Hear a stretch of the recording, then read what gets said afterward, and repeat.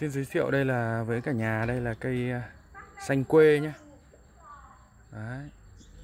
Cây này nó cũng khoảng à, 45 năm rồi À Ở trên chậu rất là lâu Đấy thực sự là Đây này nó bị khô, nó bị hỏng, nó bị gãy hết Cho nên là hôm nay này mới quyết định là cắt bỏ, pha bỏ Nhưng mà nó được cái bệ, thân bệ gốc này, tốt này. Đây các bạn nhìn này. Bệ gốc này nó phải uh, 45, 50 Đấy, này. đấy bệ rễ Năm trước thì rễ nó bị rễ nó hỏng thế là đấy. Đấy, đệ nhá. Giờ nó Các bạn nhìn nó Nhìn này, già chưa? Đấy, Đành. Cho nên là quyết định ngày hôm nay là quyết định là nhìn này nó cũng chơi được rồi Nhưng mà thôi Ở trên này hiện tại về cái ngọn nó đang rối quá Không ra làm sao cả, Cho nên là quyết định à, cắt bỏ cắt phá cắt lại cắt phá nhát cưa. Đây này ngày xưa nó cứ để nó vống lên này. Đấy, mà bây giờ kéo xuống thì cũng mệt. Thôi tốt nhất là này sẽ cắt bỏ đây. Đấy, lấy cái thân này xong nuôi bay ra đây. Đấy. Đấy, tay đây nữa và lấy một tay đây nữa thôi cho nó rụt rịt chứ không không nuôi nhiều nữa. Nhé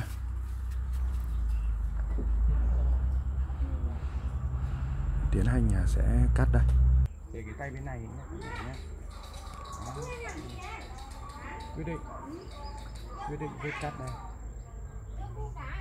vết cắt đây nhá.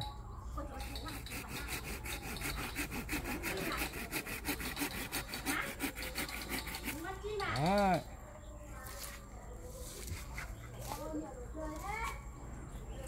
vết cắt. Viết cắt tiền tỷ thôi. Đấy, giờ cắt đây xong nó cành nó bay ra. Đấy.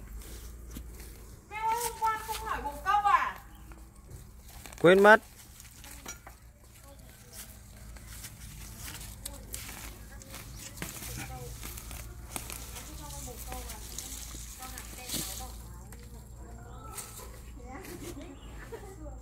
Đây là nhát cắt tiền tỷ đây nhát cắt tiền tỷ nhá.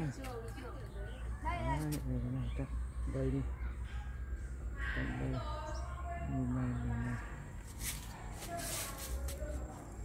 cắt đây nhá cả đây xong cắt côn rồi phát đây đây đây cái côn cái cây này thì đẹp cả cây này mỗi cái cây này bay bay đẹp nhất à. Mỗi cái cây này lại được một cây nên này sau lấy cho cành này về trồng Không, thì đó, thì cái số cái sổ này rồi.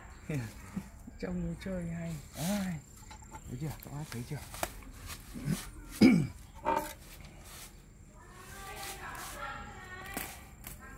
Để lấy cái cái rễ này tí nữa là được cái cây này nối. Cành này. Cái này bây giờ quánh sát đây để không cho nó bay ấy ra đây nữa. Một hai ba. Ba tay thôi Đấy, quánh sát nhá đây thành thành chơi thành ấy luôn. Đấy, cho thành sẹo luôn. Đấy xong tim đang cây xanh đang đẹp đi phá lâm tặc. Đây gọi là lâm tặc. Lâm tặc xanh. Ờ, Chia sẻ với bà con là cây này rất có giá trị với bác Thu nhưng mà Đấy nhá nhìn mọi người nhìn vệ gốc gốc rất đẹp đặc sệt luôn. Đấy, chính vì cái ngọn này nó không ra gì cả nên mình quyết định xử lý lại. Đây. Rồi ông này này chơi đây. Chơi đây đi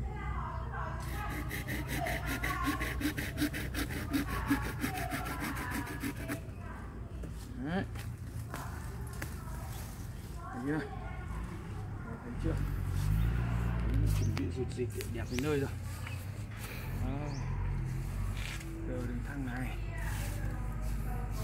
Đâu? Này đây xong nuôi bay ra này. Bay ra. Xong rồi Không có tắm nước ấy để đi Đi Được không? Bay ra. Về đến nhà mất tiếng không Hoàng? Không nghe tiếng. hơn tiếng tiếng. Dê nó nặng nó đi chậm. Trước nó ở đây 10 rưỡi còn 12 giờ. Đây nha. Cắt đây nha. Cắt đây. Xong vánh cành ngọn ra đây. Đã được. Đây trên này rồi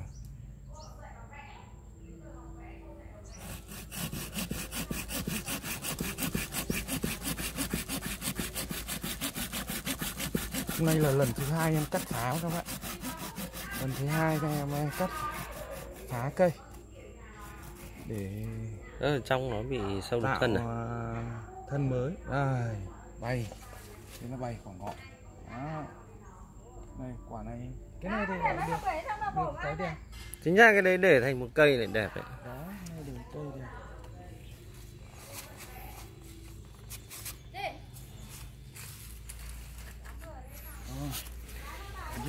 Sau một lần à, dọn cây thì à, bác Thu đã có ít nhất là bốn cái phôi.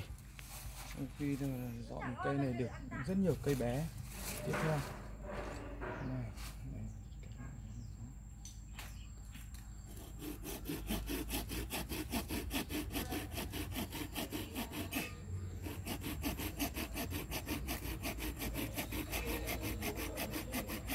Nhưng mà cơ bản cái cái gốc này nó không có cái thế gì cả.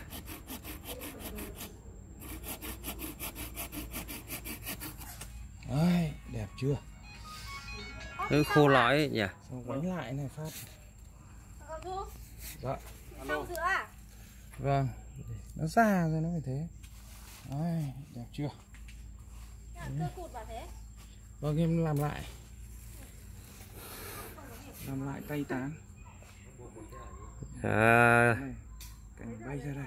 Cái xanh này mà vào tay một nghệ nhân người Nhật thì nó có khoảng độ 2 tỷ. Nhưng mà vào tay bác Thu em thì nó chỉ còn khoảng độ tỷ chín, năm chục thôi. Xong rồi nuôi bay ra đây nhá. Đây. Hướng ờ, cho cả nhà xem. Hướng cho cả nhà xem. Hướng cho cả nhà xem nhá. Xong rồi, ý này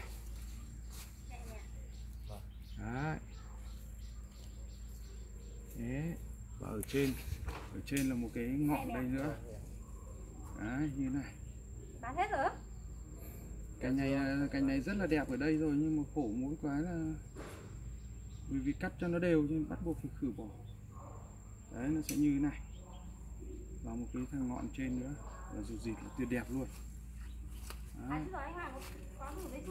xong. Thế là một nhằng cái là bay một cây đúng là trồng thì lâu trồng mấy chục năm phá thì có một tí là xong dừng đi Thế mới gọi là kịch. Đấy nha các bác nha. à, xin mời các bác xem cận cảnh cái gốc si ờ, một ngàn năm tuổi của bác Thu nhà em này. Cây này à, em xin nhắc lại một lần nữa là vào tay nghệ nhân à, của Nhật Bản thì có giá là 2 tỷ. Nhưng mà vào tay phá của bác Thu nhà em thì nó còn tỷ chín năm chục nha. Đấy. Đấy nhá. về nhá Đây, sâu đục thân này. Khô lõi này. Sâu đục thân khô lõi này.